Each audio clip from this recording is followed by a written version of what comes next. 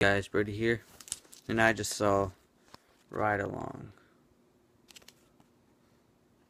So, basically, this is about Kevin Hart trying to get Ice Cube's blessing to marry his sister.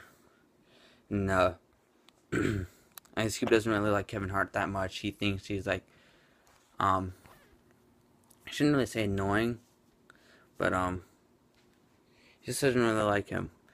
And uh, so he doesn't think that he could take care of his sister, so he doesn't like him.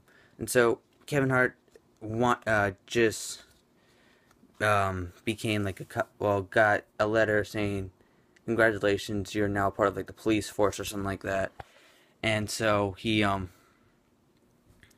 and so he's he's so proud of himself he wants to tell ice cube ice cube doesn't care that much, and then he takes him on a ride along, and basically, and basically uh, sets him up to do like all these fake cop duty things, like doing like fake cop work, and um, Kevin Hart doesn't know that until he gets a phone call from uh, Ice Cube's sister, and she says something like, like the code one two two one two six or whatever.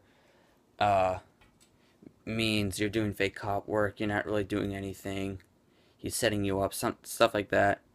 And um that's basically it. And um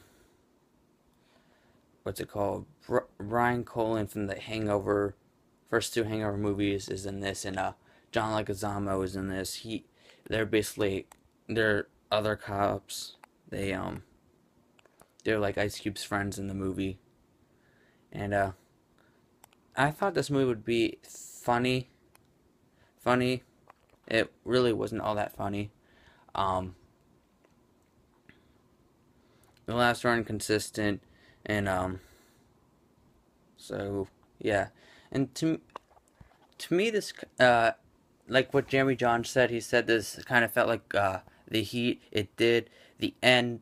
Uh, towards the end, uh, there uh, they had like this fight scene with explosions same thing happened in the Heat, and uh, and then also uh, in the Heat, Sandra Bullock goes to the uh, hospital after getting shot. That same thing happened. No, not getting. No, she doesn't get shot. She gets she gets a uh, knife stab to her leg. But same thing. Uh, Kevin Hart gets shot in the leg. So yeah, like, that's kind of ripping off the Heat a little bit, and um, not other than that, the movie keeps going after that.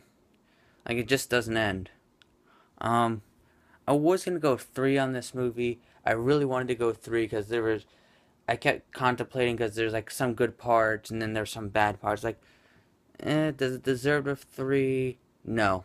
So, I'm gonna go two and a half out of five stars. Um, yeah.